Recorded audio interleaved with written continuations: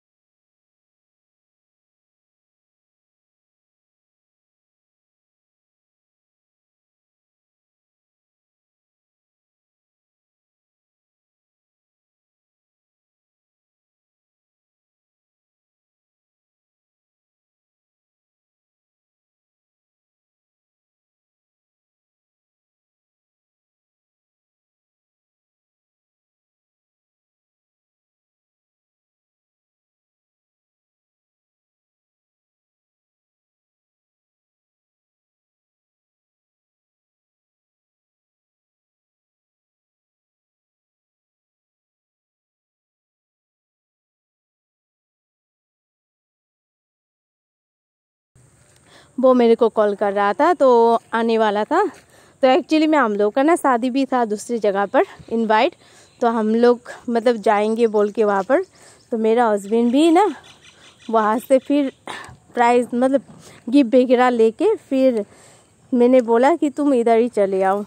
तो फिर हम लोग डांस कर रहे थे डांस कर रहे थे। तो इधर मेरा हस्बैंड भी आ चुका था इधर। फिर इसको अभी हम खाना दे दिया। फिर खाना दे के फिर मैंने थोड़ा सा डांस किया। ये नेपाली स्टाइल का डांस किया था हम लोगों ने थोड़ा।